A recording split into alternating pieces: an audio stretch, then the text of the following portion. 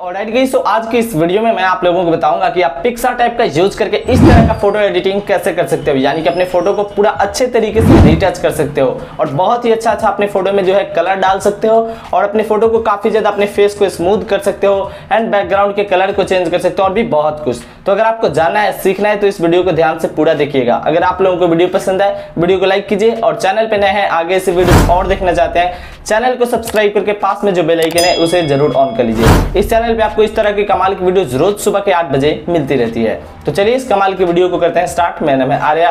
आप देख रहे हो Arya ID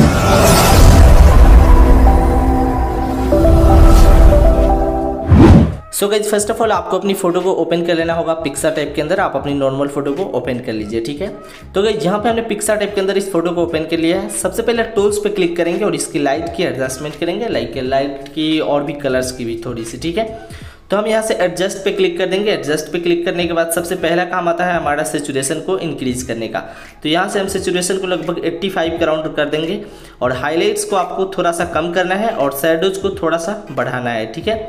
तो याद रहेगा हाईलाइट्स को आपको थोड़ा कम करना है और सैडोज को थोड़ा सा बढ़ाना है। लगभग मतलब 25 तीस का मतलब माइनस तीस कर देना है आपको हाईलाइट्स को और प्लस तीस कर देना है आपको सैडोज को। क्लैरिटी को भी थोड़ा सा बढ़ा लेंगे, लगभग यहाँ से चौदह पंद्रह के आसपास। और यहाँ से इरेजर को सिलेक्ट करेंगे, यहाँ से इरेज जो लिखा हुआ है, इसे सिलेक्ट कर लेंगे, ठीक है? अब अपनी फ़ोटो को जूम करेंगे और कुछ इस तरीके से हम चला देंगे इसे अपनी फेस पे, ठीक है? तो याद रहेगा कि ये जो भी हमने अभी एडजस्टमेंट करा है एडजस्ट में जाके, जैसे कि सेचुरेशन को बढ़ाया है क्लैरिटी को बढ़ाया है हाईलाइट्स को कम किया है शेडोज को बढ़ाया तो ये सारी जो है हमारी बैकग्राउंड और हमारी क्लॉथ्स के लिए थी, ठीक है? तो ये एडजस्टमेंट हम अपनी मतलब फेस पे हैंड और लेग पे बिल्कुल नहीं रखेंगे, ठीक है? तो हम यहाँ से फेस हैंड और लेग से इरेज कर देते हैं। कुछ इस तरीके से हम जल्दी जल्दी से इरेज कर लेते हैं गाइज़ तो फेस हैंड और लेग से इरेज कर देने के बाद अब आपको सिंपली यहाँ से डन कर लेना है, ठीक है? अगर इरेज कर लेने के बाद भी चाहो तो आप एडजस्टमेंट कर सकते हो। यहाँ पे आप लोग देख पा रहे हो लाइट की कितनी मस्त यहाँ पे एडजस्टमेंट हो गई है। अब इफेक्ट्स पे आपको क्लिक करना है, यानी कि इफेक्ट्स पे। इस पर क्लिक करने के बाद इफेक्ट्स वाले टूल के अंदर आप रहेंगे, आपको कलर्स वाले टूल के अंदर जाना होगा, ठीक है? मतलब ये टूल्स नहीं, बोला जाएगा तो ये एक कैटेगरी है जिसमें बहुत सारी आपको इफेक्ट्स मिल जाएगी। तो आपको सिंपली कलर्स वाले कैटेगरी के अंदर आ जाना है। यहाँ पे आने के बाद आपको कलर रिप्लेस को सिलेक्ट कर लेना है, आपको थर्ड नंबर पर मिल जाएगी, ठीक है?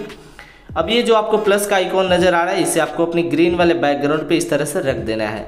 रख देने के बाद गई, मैं ज़रा सा गलती हो गया तो मैं ध्यान से रख देता हूँ। अब आप लोग देख पा रहे हो ऊपर आपको एक ऑप्शन मिलता है रिप्लेस ह्यू का। तो इसे आपको पूरा आगे की ओर बढ़ा देना है। आपको इस तरह का पूरा रेड वाला टोन में आपका बैकग्राउंड जो है मिल जाएगा, ठीक है? अगर आप कोई दूसरा बैकग्राउंड रखना चाहो तो वो भी रख सकते हो। रिप्लेस यू को आप लेफ़्ट और राइट करके देख सकते हो, ठीक है? ये वाला कलर मुझे अच्छा लग रहा है तो यहाँ पे करके मैं सिंपली डन कर दूँगा। अब आप लोग देख पा रहे होगा, इसकी लाइट रूम में कितना झंझट होता है और पिक्सा टाइप के अंदर बहुत ईजी वे में हो गया।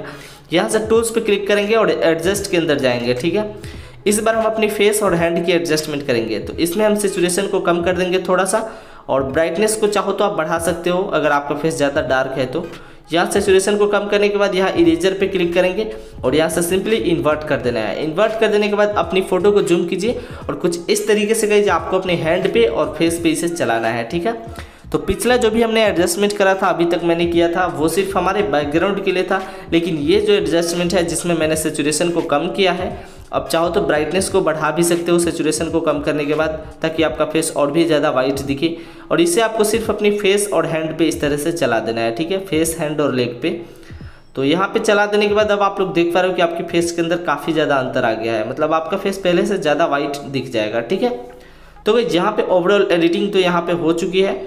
तो अब बारी आती है इस फ़ोटो को सेव करने की, क्योंकि बस इस एडिटिंग में इतना ही आपको करना था, आप लोग देख पा रहे हो कि लाइट रूम के अंदर तो बहुत ज़्यादा हो जाती है, एक बार एडिट करो ग्रीन टोन में, फिर येलो टोन में मतलब बहुत झंझट होता है। अब यहाँ से ड्रॉ टूल के अंदर चलते हैं, इस फ़ोटो को सेव कर लेते हैं। गाइज़ आप लोग इस वीडियो के नीचे कमेंट करके हमें ज़रूर बताइएगा कि ये वीडियो आप लोगों को कैसी लगी है। यहाँ से थ्री डॉट के आइकॉन पे क्लिक करेंगे सेव इमेज का एक ऑप्शन मिल जाएगा, यहाँ पे क्लिक करके हम अपनी फ़ोटो को सिंपली सेव कर लेंगे। दोस्तों, इस तरीके से आपको अपनी फ़ोटो को कुछ इस तरीके से मुड्डी रेड टोन में एडिट करना था। मुझे उम्मीद है कि ये वीडियो आप लोगों को बहुत ज़्यादा पसंद आई होगी। अगर आपको वीडियो पसंद आई, वीडियो को लाइक कीजिए और अपने भाई को सपोर्ट कीजिए। आप लोगों के सपोर्ट की बहुत ज़्यादा ज़रूरत है, क्योंकि वीडियोज़ पे व्यूज़ बहुत ही कम आ रहे हैं, यानी कि आप लोग बहुत ही वीडियोज़ को कम देख रहे हो। तो चलो, कोई बात नहीं, आप लोग मैनेज कर लेना। फ़िलहाल के लिए जितना ही, मिलते हैं किसी नेक्स्ट वीडियो में, तब तक के लिए love you all take care bye